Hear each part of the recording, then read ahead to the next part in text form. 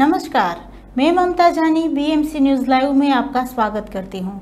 आज के हिंदी समाचारों के प्रायोजक है Al Hilal hospital and medical centre. समाचार विस्तार से। एनआईएस प्रदर्शनी बाहंडो फेट्रेशिया 2024 भारत और बहरीन की साझा विरासत का जश्न मनाती है। New Indian School W L L Kingdom of Bahrain में गुरुवार को 27 जून 2024 को स्कूल परिसर में बहरीन और भारत प्रदर्शनी पहांडो फेंटाशिया का आयोजन किया, जिसमें छात्रों की रचनात्मकता, उत्साह और अभिनव विचार दर्शाया गया। बहंडो फेंटासिया ने भारत और बहरीन की दशकों पुरानी साझा संस्कृति समृद्धि को प्रदर्शित किया।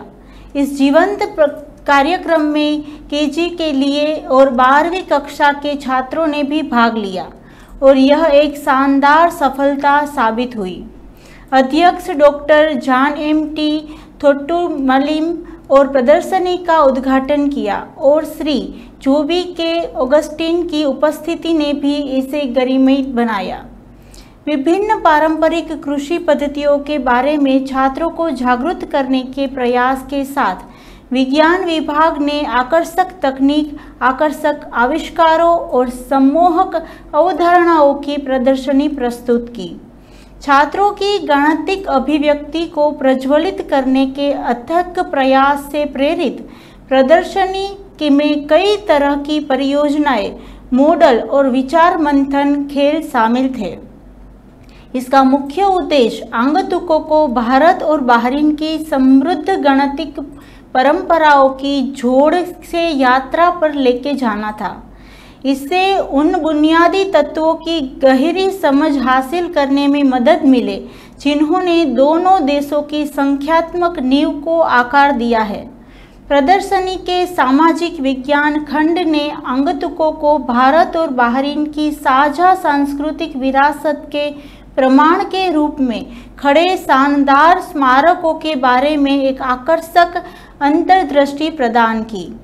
इन प्रदर्शनों में दो देशों को जोड़ने वाले युवा से चले आ रहे वास्तुशिल्प चमत्कारों की गहरी समझ और प्रसन्नता प्रदान की। हिंदी, मलयालम, अरबी, फ्रेंच और तमिल से युक्त भाषा विंग ने अपनी भाषाई और सांस्कृतिक विविधता का जीवंत प्रदर्शन किया। आकर्षक खेलों, मनमोहन नृत्य, प्रदर्शनी और भारत और बहरीन दोनों की परंपराएँ, परिधान, शैलियों और कपड़ों के प्रदर्शन के माध्यम से प्रदर्शन ने दोनों देशों के बीच साझा किए गए समृद्ध व्यावहारिक पहलुओं और सांस्कृतिक विरासत को उजागर किया। कला और शिल्प विंग ने न केवल छात्रों की कलात्मकता और शैक्षणिक क्षमता का प्रदर्शन किया, बल्कि भारत और बहरीन साम्राज्य के बीच मज़बूत सांस्कृतिक और शैक्षणिक संबंध को भी मज़बूत किया।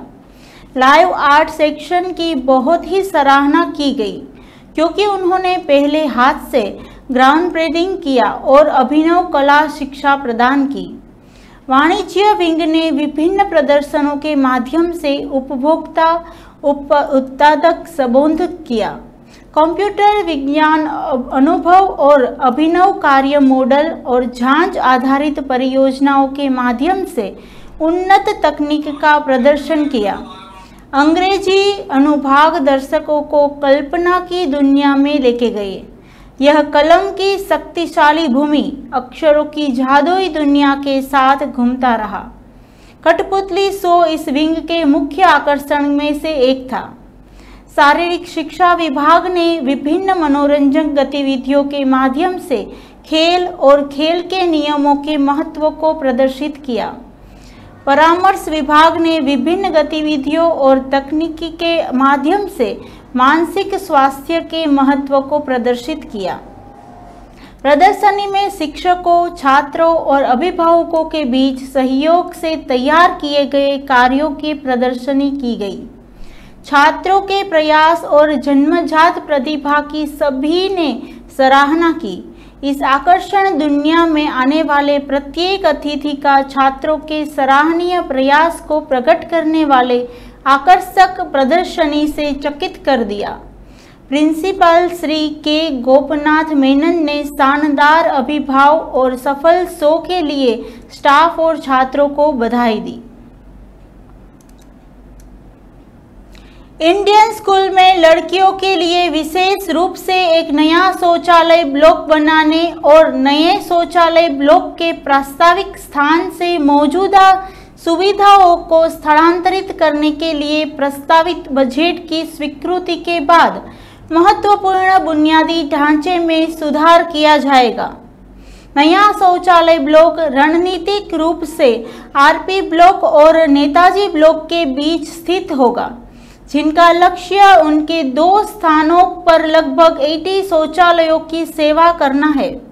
नए ब्लॉक के निर्माण के निर्णय के लिए वर्तमान में प्रास्ताविक साइट पर पोर्ट केबिट के स्थित मौजूदा सुविधाओं को स्थानांतरित करना आवश्यक है, जिसमें अरबी और कला और शिल्प गतिविधियों के लिए कमरे शामिल हैं।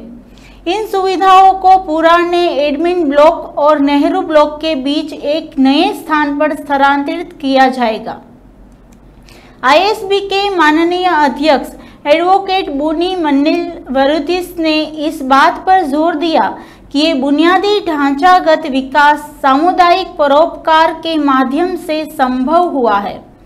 जो स्कूल से बुनियादी ढांचे में सुधार के पीछे सहयोग प्रयास को रेखांकित करता है।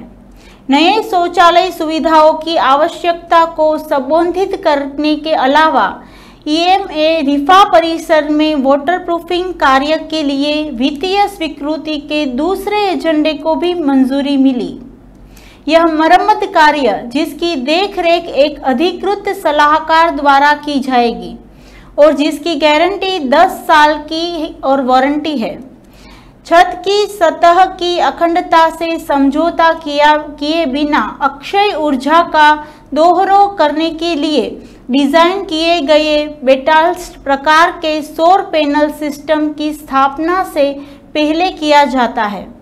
शुक्रवार 2020 शुक्रवार 28 2024 को जसनमल ऑडिटोरियम में आयोजित असाधारण आम सभा के दौरान पहला एजेंडा ईसा टाउन परिसर में एक शौचालय ब्लॉक के निर्माण और नए शौचालय ब्लॉक के प्रास्ताविक स्थान से मौजूदा सुविधाओं के स्थानांतरित करने के लिए अनुमोदन और दूसरा एजेंडा, रीफा परिसर में वाटरप्रूफिंग कार्य के लिए वित्तीय स्वीकृति को उपस्थित अभिभावकों और स्कूल अधिकारियों द्वारा सर्वसम्मति से अनुमोदित किया गया। ईजीएम द्वारा बजट अनुमोदन प्राप्त करने के बाद दोनों प्रस्ताव स्कूल के वेबसाइट के माध्यम से खुली निविदा के लिए जाएँगे। आईएसबी के मानद अध्यक्ष एडवोकेट बीनू मन्निल वरुगिस ने मानद सचिव वी राजपंडित माननीय सहायक सचिव रंजिनी मोहन, मानद कर्मचारी समिति के सदस्य मिथुन मोहन मोहम्मद नयास उल्लास और principal V R Palani Swami बैठक में शामिल हुए। एडवोकेट बिन्नू मलिन वरुगिस ने दोहराया कि शौचालय सुविधाओं का विस्तार स्कूल के लिए लंबे समय से चिंता का विषय रहा है, जो समग्र परिसर के माहौल को बेहतर बनाने और छात्र कल्याण सुनिश्चित करने के लिए प्रशासन की प्रतिबद्धता को दर्शाता है। ये विकास भारतीय स्कूल परिसरों में बुनियादी ढांचे और सुविधाओं को बढ़ाने की दिशा में एक महत्वपूर्ण कदम है, जो सीधे अपने छात्र निकाय और हितधारकों की ज़रूरतों और आकांक्षाओं को जवाब देता है। पवित्र अमरनाथ यात्रा आज यानी कि 29 जून से शुरू हो चुकी है, जो 19 अगस्त को समाप्त होगी। भारी सुरक्षा के बीच तीर्थ यात्राओं का दूसरा जत्था भी जम्मू से रवाना हो गया है। प्रधानमंत्री नरेंद्र मोदी ने पवित्र अमरनाथ यात्रा के शुभारंभ पर सभी तीर्थ यात्रियों को हार्दिक शुभकामनाएँ दी है। पीएम मोदी ने एक्स पर पोस्ट करते हुए लिखा, पवित्र अमरनाथ यात्रा के शुभारंभ को पर सभी तीर्थ यात्रियों को मेरी हार्दिक शुभकामनाएँ। बाबा बर्फानी के दर्शन और वंदन से जुड़ी यह यात्रा शिव भक्तों में असीम ऊर्जा का संचार करने वाली होती है। उनकी कृपा से सभी श्रद्धालुओं का कल्याण हो यही कामना है। जय Baba Barfani. NEET UG paper, paper leak मामले पर हर दिन एक नया खुलासा होता रहा है। इस मामले के तार अभी राजस्थान के झालावाड़ मेडिकल कॉलेज से भी जुड़ गए हैं।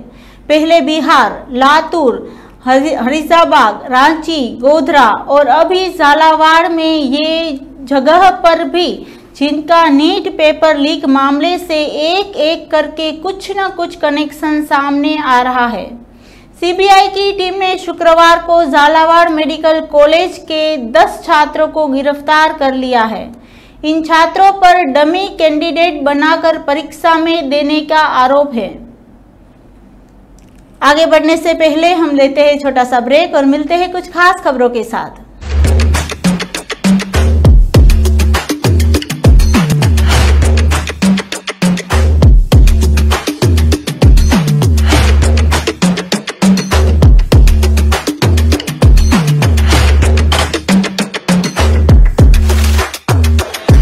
All your favorite products under one roof in Bahrain from our 14 branches at 27 year old Megamart and Macromart. Bakery.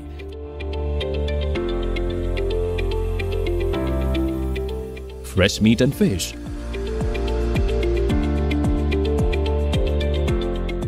Fruits and vegetables.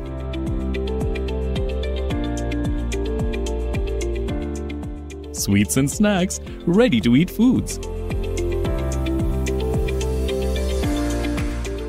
dairy products, grocery, or consumer goods. To have a wonderful shopping experience, please visit your nearest Megamart Macromart branch. Megamart and Macromart, full of goodness.